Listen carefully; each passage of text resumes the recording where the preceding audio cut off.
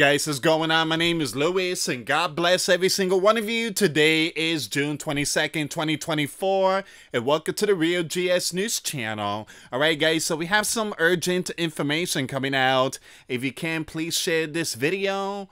And we have a big breaking news. Red alert! The sleeping giant warned of impending biblical war within three weeks.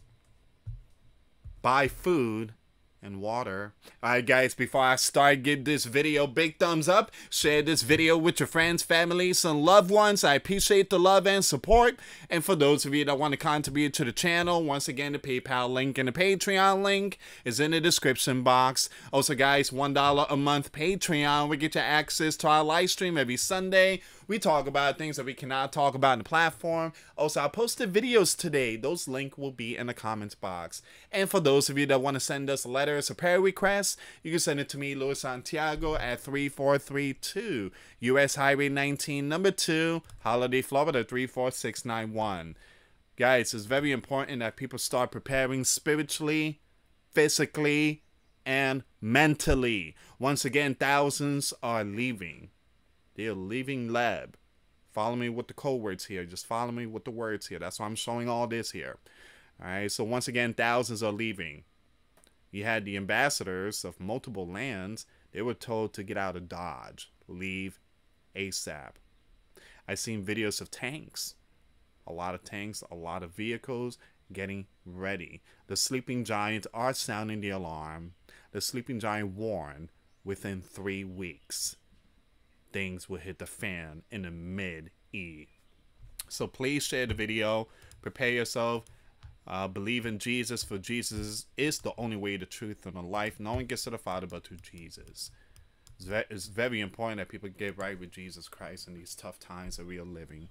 All right, so it says here on June 20th, you have Mr. Rubio, very important person here, who is also vice chair of the Senate, sounded the alarm. You got multiple people sounding the alarm. Multiple agency, the FB, you know what, the CI, you know who, they are sounding the alarm. Everybody's sounding the alarm. The sad part is no one is paying attention. Everybody thinks that the world is uh, perfect and Paul Luis, he's uh, clickbait and fear mongering and blah, blah, blah, blah, blah. But scripture tells us in the last days, there will be great wars and rumors of wars, kingdom against kingdom, nations against nations. All right, so it's very important to put on the whole armor. All right, so once again, Rubio sounding the alarm, saying that a very, very biblical war is simmering in mid E between the Holy Land and Hellsball, with Persia involvement on the horizon. Now, once again, Rubio has been warning of this biblical war for months, since April of this year. As I have been warning about for months, because of Hezbollah and the group in Persia, the warning of a very biblical war is brewing in the mid E.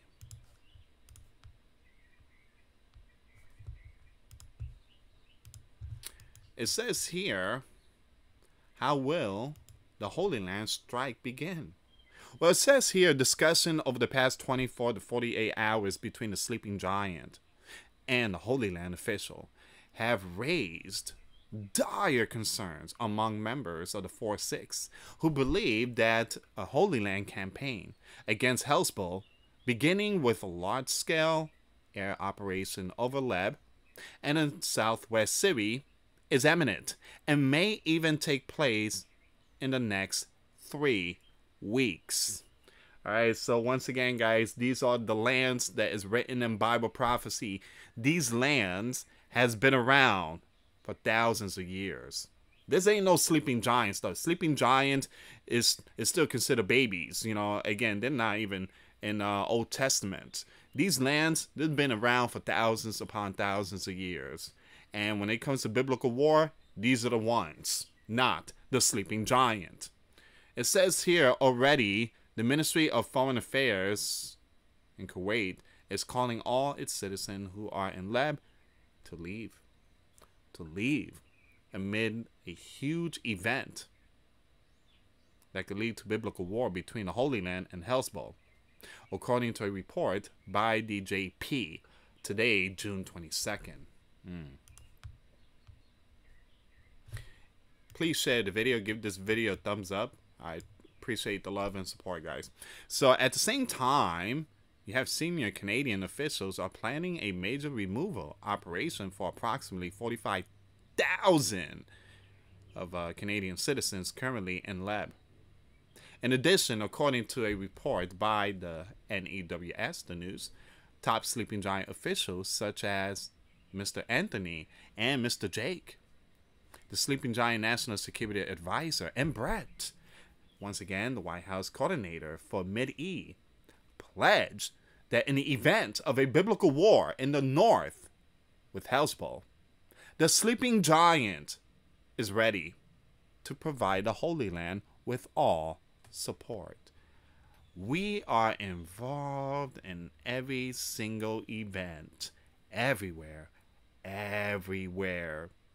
According to the report, the promise was conveyed to the Holy Land during a series of meetings attended by those mentioned, as well as the Holy Land Minister of Strategic Affairs, along with the head of national you know who. All right, so very, very, very, very extremely important people here, guys. All right, so, and I did talk about this yesterday, so it begins. Yep. It's time to pack up and get out of Dodge. It's time to pack up and get out of Dodge. Ominous prediction in the Holy Land all right, so we're gonna see what's going on here, guys. We're gonna see what's going on here. All right, so you have uh, fears prevailing in Holy Land are partly justified. Specifically, the Holy Land professor, I'm gonna skip his name, um, stated that one third, one third of this region here, houses will be wow, poof, gone in any biblical war against Hezbollah, while thousands of flying objects would not leave much of that region. Leave. Leave. Those in the Holy Land. We need to pray for many out there. In addition, according to a report by that news on June 21st, the land electrical grid electrical grid is vulnerable and a strike by Hezbollah could cause its total collapse. The statement was made by this person, um, CEO of the NOGA, which manages and oversees the Holy Land electrical system on behalf of the Holy Land Gov. Now, according to this person, we are not ready for a real biblical war. In my eyes, we live in a fantasy world. Actually, I'm not trying to start anything here. Mockers and scoffers live in a fantasy world. But this is no fantasy world. This is reality. We are in the last days. Scripture tells us. Scripture tells us there will be things to come. It says here, and he adds, if this person, very important person here, I'm to skip his name, if this person wants to paralyze the Holy Land power grid, all he has to do is pick up the phone and call the head of ooh that land power grid which is identical to the Holy Land. The good news is that we have invested a lot in protection working with the Holy Land Electricity Company. Now, Hezbollah is, is indeed able to bring the Holy Land to its knees. According to scriptures uh, in the end times, in the last days, God, God will defend the Holy Land against the enemies. So it says here, since according to a Reuters report, it has more than 150,000, look at that, 150,000 powerful flying objects. These include some very powerful stuff. I'm to skip their name. But guys, 150,000? You know what's 150,000 of this? That means that they could make it rain fire 24-7 for a whole year non-stop. Given this person intention to even carry out a preemptive strike against the Holy Land, by Operation the Gala, you know what? Things get even more serious. For example, Hezbollah has 5,000. Well, they got some very powerful equipments, put it like that. So I'm just going to skip all this here, guys. All right, so they do have a very, very powerful equipments. I'm just going to highlight it. Amid developments, the Holy Land born, um, skip his name, an advisor to the sleeping giant leader, 4-6, Joe, traveled to the Holy Land as well as Leb. In the Holy Land, he met with Benjamin. He also met with the leader, Isaac, and other very important ones, as well as Benny. According to the news, this person warned that in the event of a biblical war with Hezbollah, Persia could launch a large-scale event, a scale of which will be even difficult to deter, considering the simultaneous strike by Hezbollah. He apparently referred to the possibility of a air defense saturation of the Holy Land. Again, the uh, defense system, put it like that. Leb MP, I'm gonna skip his name, who is affiliated with Hezbollah, said that if they want to come to lab, they are welcome. Now, this person said hello and welcome in his language. Here, they cannot handle the situation. In a strip, and they want to come here? In a strip, they don't fight, they just BOMB and send drones. But if they want to come, we are waiting for them impatiently. We have made preparation, which they don't even think about. Hmm.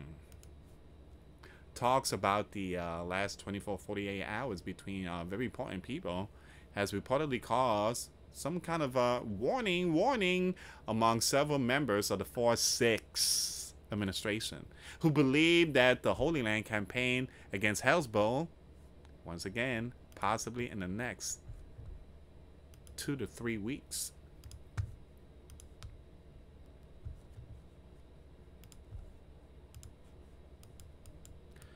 The Holy Land versus Hezbollah. Let's see what's going on here. According, according to the Holy Land radar, a new biblical war in Leb will present a number of challenges to the Holy Land. Yet, the Holy Land military has a number of advantages. Hezbollah is the world's largest T organization, its power surpassing even more national armies. As we mentioned above it, a uh, excuse me, as we mentioned above it, has a huge uh, 150,000 as well as some naval and anti-aircraft assist. Mm.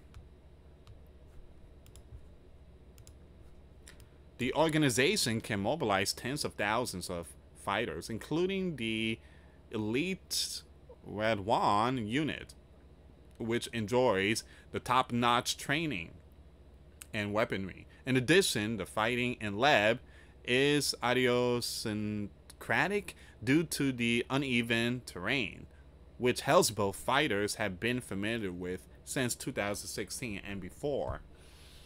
Mm. Finally, the organization is certain that it will be supported by both Persia and the Bear in terms of armament and logistics, but also in terms of information far beyond what is already available in the current phase. Regarding the strength of the Holy Land forces, the Holy Land radar draws some conclusion, which we do not agree.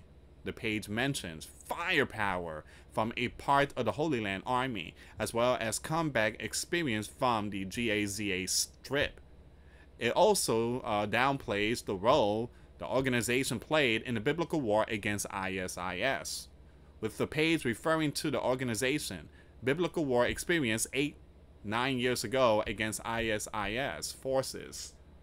According to the Holy Land Radar, the organization has nothing against the Holy Land Air Force.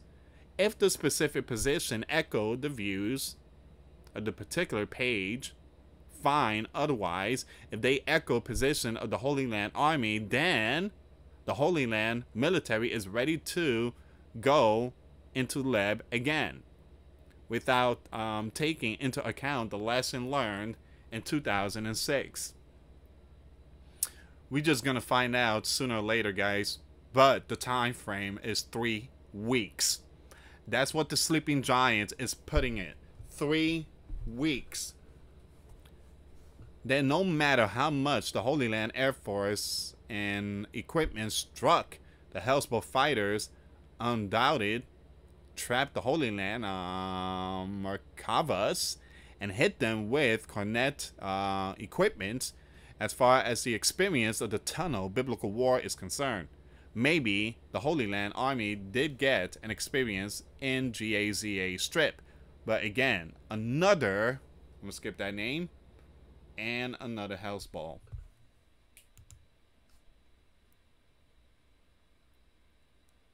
It says here you have uh, Benjamin failed to involve the sleeping giant in the biblical war against Persia to the extent that he was pressured by the 4 6 not to respond to the barrage of the flying equipment by Persia on April 13th of this year.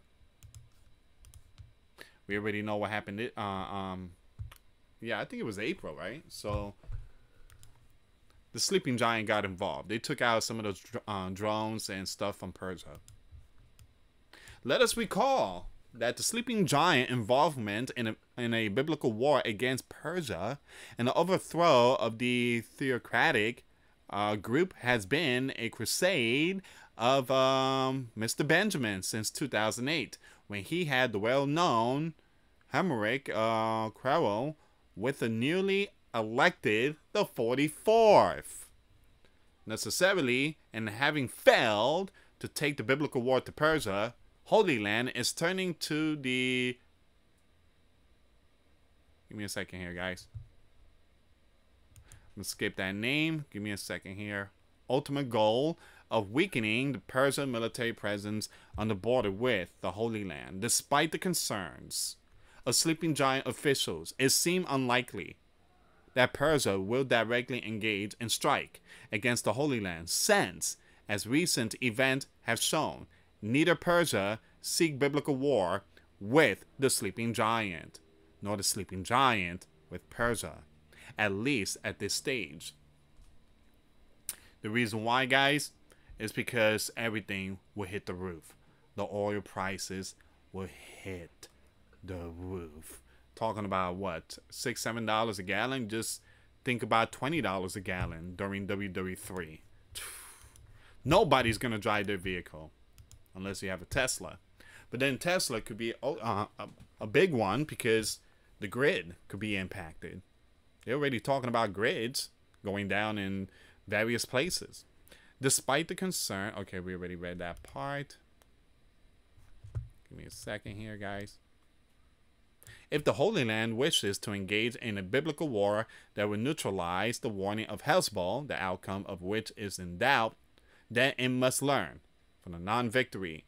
In the words of Professor, I'm going to skip his name, of 2006, which uh, means that the greatest assist of the JEWS state, namely firepower and uh, superior training and experience from recent biblical war, can easily be annihilated, again by a force that knows how to, you know what, on its own soil and it is most worthy proxy player in Persia in the region.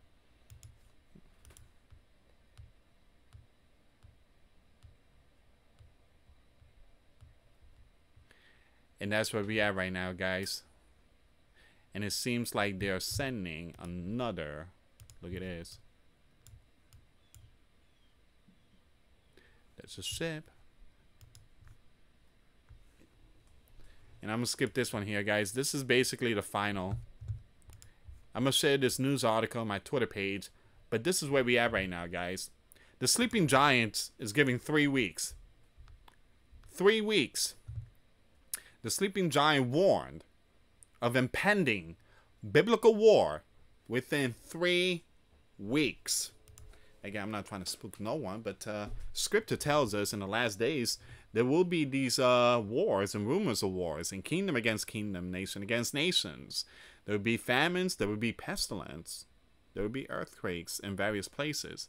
So, number one, if you're not right with Christ, now is the time. You need to confess your sins. You need to get down to your knees and, uh, you know, again, confess your sins. Say it in, in again a private room, and um, confess your sin and you know accept Jesus as Lord and Savior. Father, I come to you as a sinner. I am lost. I have nowhere to go. I feel hopeless. I have no peace. I thought doing things on my own would be easy, but it's not, Father. And Father, I come to you. Jesus, I come to you and I open my heart to you, Jesus, and I accept you, Jesus, as my Lord and Savior. And God, I thank you for John 3:16. I thank you for Jesus Christ. And Jesus, I thank you for what you did on that cross. I need you in my life, Jesus. I need you. Make me a new person. And I do want to receive, I want to receive the gift of the Holy Spirit. When you confess, when you confess, when you speak like that, when you confess and you open your heart to Jesus, and truly, I mean, I'm talking about spiritual stuff here, truly repent and accepting Jesus, you do receive the gift of the Holy Spirit. Your name is written in the book of life. We all need Christ. Look at the world. Now, according to many people out there, and the Bible speak about mockers and scoffers, they think that everything is fine and dandy. Please don't pay attention to the mockers and scoffers. Stay far away from them. You need Jesus. We all need Jesus. And we are seeing a sign that Jesus said that it will come. And all these signs least lead to Jesus' return. I'm not saying Jesus is coming three weeks. I'm not saying Jesus is coming today or tomorrow. For we don't know when that time comes. We don't know the day. We don't know the hour. Only the Father, again, not the angels know the Son, but only the Father knows. All right, so we don't know when Jesus is coming. No one. No one. Jesus said that. so Jesus said that. No one knows the day or hour. All right, so when you hear people making videos that they know when Jesus is coming, lies. They've been doing that for many, many years. Many years. And guess what? Every single one of them has failed. Their prediction is not accurate. It goes to tell you run. Run away from them. Far away. Don't ever watch their stuff ever again. Those are false teachers. Jesus speaks about these false teachers and false prophet in the in the last days. You want to run somewhere? Run towards Jesus. Run towards Scripture, King James Version. Anyway, guys, thank you so much for watching. I'm going to keep you updated in these biblical wars. Please share this video. For those of you that want to give a life to Christ, you can email me. My email is in the description box. Me and my wife are here to help many and to lead many to the righteous path, and that's the path of our Lord and Savior Jesus Christ. For those of you that want to send us letters or prayer requests, you can send it to me, Luis Santiago, or my wife, Jessica Santiago, at 3432 US Highway 19, number 2, Holiday, Florida 34691. Once again, guys, $1 a month Patreon. We get you access to our live stream every Sunday. We talk about things that we cannot talk about in the platform. Also, I posted videos today. Those link will be in the comments box. Thank you so much for watching. God bless you all. Faith and trust in Jesus Christ, for he's the only way, the truth, and the life. No one gets to the Father but through Jesus. Thank you so much for watching. Till next time later. Peace.